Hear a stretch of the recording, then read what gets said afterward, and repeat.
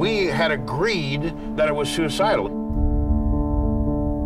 You just had this feeling of doom. Nobody could survive that jump. Carl thought that he could get away with it, but the mountain had other ideas. My name is Carl Boenish. Uh, I'm expedition of this leader. Uh, there are many man-made laws that need to be broken. We started talking about Carl's grand idea, fixed object jumping. Buildings, antenna towers, spans, and earth. It evolved into the word base. Go!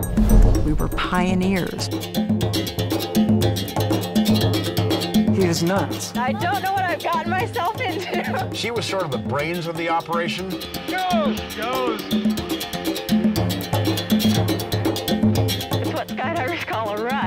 He assigned a lot more importance to the laws of nature than he did the laws of man. Step off, and then.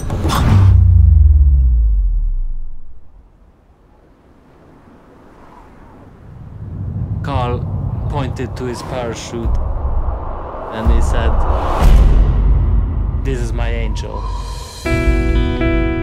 Carl was special. People didn't understand it. Carl's focus was to share that feeling.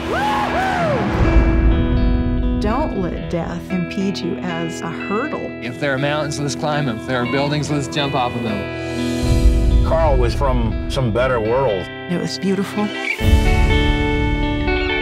have a feeling of freedom and power, and you think, wow, I feel like Superman. Cut.